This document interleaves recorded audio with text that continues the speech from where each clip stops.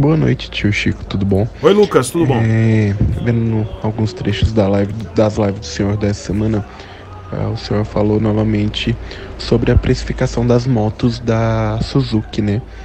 É, e eu queria que o senhor tentasse dar uma explicação, não tentasse dar uma explicação, mas falasse pra gente por que, que o senhor acha que a precificação do da Suzuki é tão, tão interessante e a das Ontes é tão ruim. Porque por mais que a Suzuki seja a J Toledo e a Zonte seja a JTZ, são da, do mesmo grupo, né? Posso estar falando uma grande besteira, mas eu Não, acho que é tá isso, né? Uhum. É, o porquê dessa diferença tão grande assim é, na forma de precificar? Então, Lucas, eu, eu não sei lhe dizer. Eu não tenho como lhe garantir nenhum, nada, porque eu, eu- isso é uma coisa interna deles. Sim, fazem parte do mesmo grupo, Suzuki J Toledo e a Hauju Zontes Kinko é, JTZ. É o mesmo grupo, tá? Inclusive, tenho carinho por- pelas pessoas do grupo, tá? Eu, particularmente, tenho carinho, mas não deixo de fazer as minhas críticas, porque eu não concordo com a política de preço.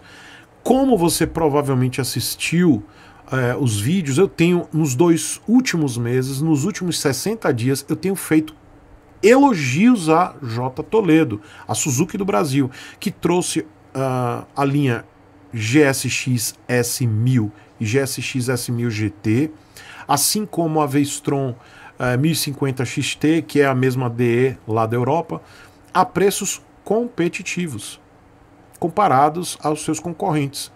E a gente sabe que todas essas motos Suzuki, elas não quebram, tem alta qualidade. Obviamente que menos é mais quando se fala eletrônica, mas o, o pessoal da J Toledo fez é, realmente, um, tipo, vamos pra faca, vamos riscar a faca no chão, vamos pro quebra-pau e vamos botar moto boa, lançamento competitiva. E, poxa, que legal, acordou, a Morta Viva acordou. Eu fiz um vídeo falando a Morta Viva acordou, para quem não sabe, o apelido da Suzuki é Morta Viva. Né? Eu chamo a, a Honda de asa de frango, a Kawasaki, não, a, a Yamaha de, de, de picolé de chuchu, a Kawasaki é tartaruga ninja. É, e esse ano de 2023 a Kawasaki é uma tartaruga ninja, vendeu pouco mais de 6 mil motos no ano todo. Tá lá, lá atrás. Não quer sair do quentinho. E a Suzuki, entre outras, né, que eu, que eu criei os apelidos, a Suzuki é a morta-viva, porque a morta-viva tá aí, gente. E a morta-viva acordou. Agora, por que da, da Hauju, a galera lá da JTZ, tá saindo da casinha e cobrando preço absurdo para algumas motos? É uma política deles. Entendeu? As Ontes mesmo. Tá lá, não conseguiu vender, mas tá enferrujando no- nos pátios. Tá enferrujando. Por quê? Porque de uma hora para outra eles deram um boom de vendas, que a moto tava num preço bom. Cresceram o olho, aumentaram quase 3 mil reais na versão T 310. O que, que acontece? Perdeu venda. O que, que a BMW fez? Baixou o preço da sua linha 310. É, deu um shoryuken de fogo na, na, nas Ontes Brasil. Shoryuken de fogo. E aí os caras sequer acordaram, tipo, não, tá bom, vamos voltar, vamos dar um passo para trás. Mas a teimosia é grande.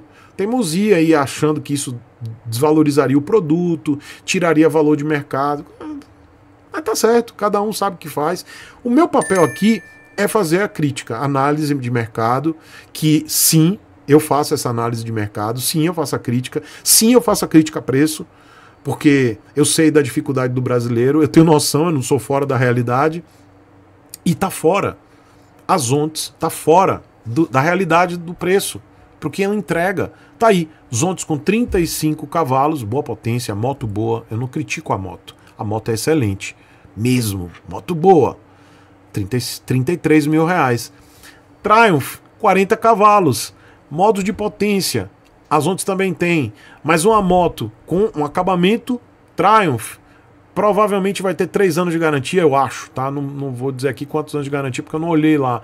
Mas as Ontes tem, acho que um ano ou dois. 40 cavalos a Triumph, acabamento premium. Zontes, boa, mas não é acabamento premium. É o mesmo preço.